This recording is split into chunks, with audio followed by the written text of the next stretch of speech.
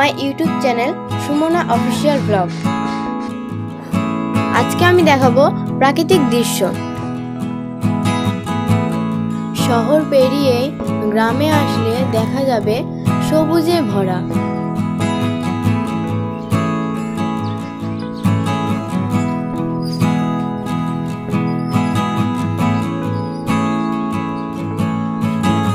শীতকাল আসলে দেখা যায় সবুজে ভরা সর্ষে ফুল।